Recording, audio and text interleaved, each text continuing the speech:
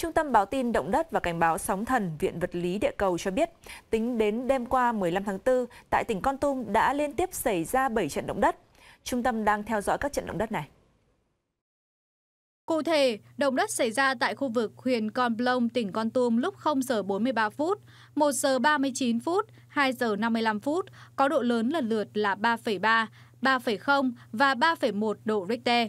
Trong đêm 15 tháng 4 tiếp tục xảy ra 4 trận động đất vào lúc 20 giờ, 20 giờ 34 phút, 20 giờ 47 phút, 21 giờ 35 phút với độ lớn lần lượt là 2,9, 3,4, 4,1 và 2,7 độ Richter.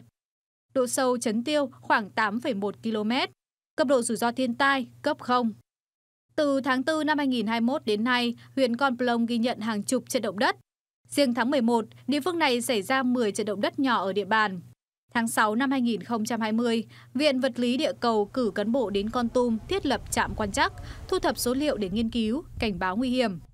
Theo Viện Vật lý Địa cầu, khu vực Con Tum nói chung và huyện Con Plong nói riêng thuộc đới đứt gãy nhỏ. Các nghiên cứu trước chỉ ra rằng các trận động đất tại khu vực này có độ lớn không quá 5,0.